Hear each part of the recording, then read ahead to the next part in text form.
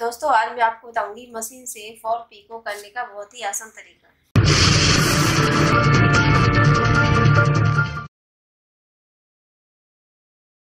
ये साड़ी का नीचे साइड है तो मैं यहाँ पे इतना, आप या तो इंची टेप से मेज़रमेंट कर सकते हैं, या ऐसा प्लस कर सकते हैं तो इतना मैंने छोड़ दिया है। छोड़ने के बाद जो हमारा ये फॉल है, इसको हम इस तरह से यहाँ से मेज़रमेंट करते हैं, कॉर्नर से। और उसके लिए जैसे कि फॉल में साइड में स्टिच नहीं आती है तो आप इस तरह से इसको फोल्ड कर लें। फोल्ड करने के बाद इस तरह से आप मेज़रमेंट करें। जहाँ तक आपको फॉल आता है, उधर आप निशान लगा दें। यहाँ तक ले लिया है, सवा दो मीटर का फॉल आता है तो सवा दो मीटर मैंने एक क्लॉथ लिया है तो इसको यहाँ पर मैं इस तरह से फोल्ड कर दूँगी स्टार्टिंग में। और जो है, इसको हम जब स्टिच करेंगे, तब साइड में फोल्ड कर देंगे। तो इस फॉल को मशीन इस तरह से दबाऊँगी।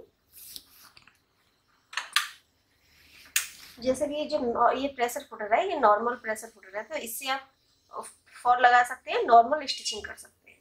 और जो पीको का रहता है वो दूसरा रहता है। उसको मैं ये फॉल लगाने के बाद आपको पीको का बताऊँगी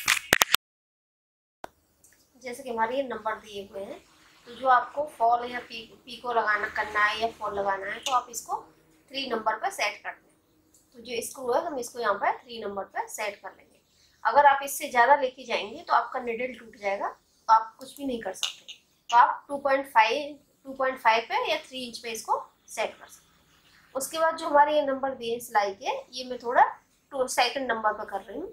क्योंकि जो हमको फॉल लगानी है, थोड़ा बरीक आना चाहिए, बड़ा नहीं चाहिए तो टू नंबर पर आप इसको भी सेट कर तो मैंने यहाँ पर जैसे कि फॉल स्टार्टिंग में इस तरह से दबा दिए और ये चीज़ ध्यान रखें कि हमारा फॉल जो है अंदर ही दिखे बाहर की तरफ़ नहीं आए यहाँ पर हम लॉक कर देते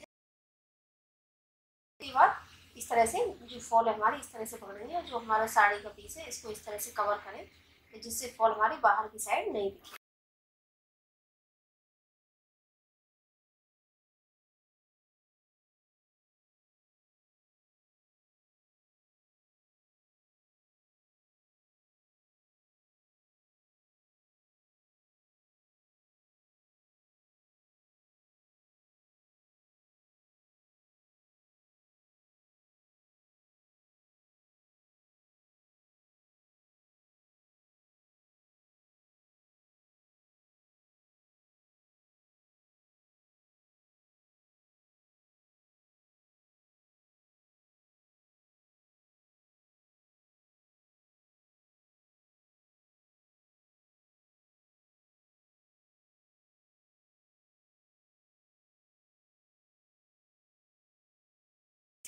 मैंने वन साइड पूरी तरह से तैयार कर दी है तो इस तरह से हमारी फिनिशिंग आ रही है।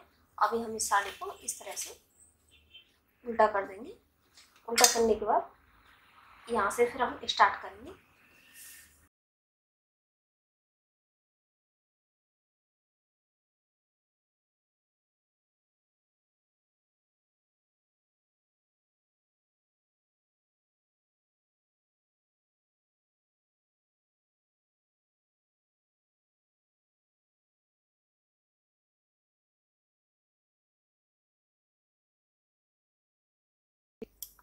जो बाहर की साइड है, आप देख सकते हैं, कोई भी हमारा, न तो अंदर की साइड कोई भी फ्रिल आ रहा है, कहीं भी झोल नहीं आ रहा है, और ना बाहर की तरफ़ आ रहा है। तो हमारी ये जो फॉल लग रही है, बहुत ही अच्छी फिनिशिंग आ रही है इसकी। तो आप इसको इस तरह से ध्यान रखें कि इस फॉल को ऐसे इस तरह से रखें, ना तो इसको खींचें, ना इसको टाइट करें। एकदम सीधा ही रखें इसको।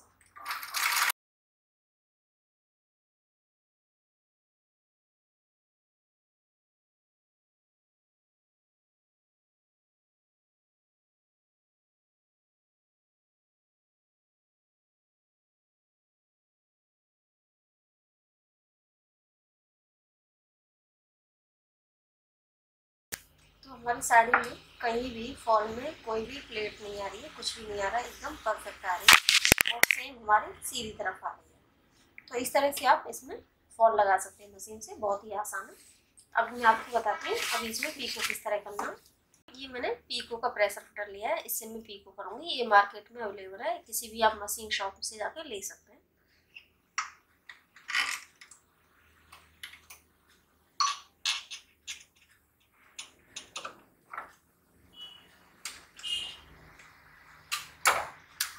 जो हमने नंबर सेट किए थे, नंबर हमको सेम रखने हैं। खाली हमको प्रेस फिटर चेंज करना है। इसको हम इस तरह से स्टार्टिंग में फोल्ड कर देंगे। जिससे कि जो हम पी को करेंगे, वो बराबर से बैठ जाएगी। जैसे कि ये बॉर्डर है, थोड़ा हैवी है तो थोड़ा सा आपको इस तरह से राउंड में करना है। और स्टार्टिंग में लॉक कर तरफ़ से आप एक हाथ से आगे की तरफ़ खींचते हैं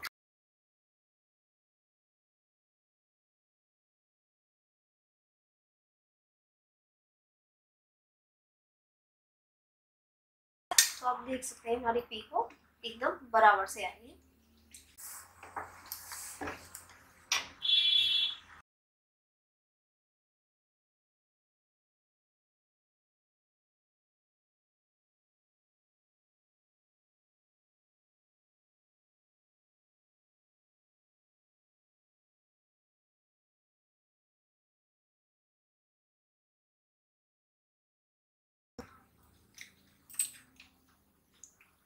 हमारा पी को इस तरह से तैयार हो गया है। तो हमने वन साइड पी को तैयार कर लिया है। इसी तरह दूसरी साइड में भी तैयार करूँगी।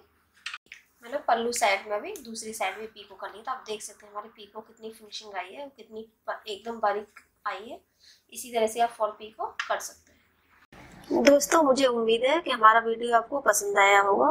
वीडियो को शेयर करें लाइक करें चैनल सब्सक्राइब करें। Thank you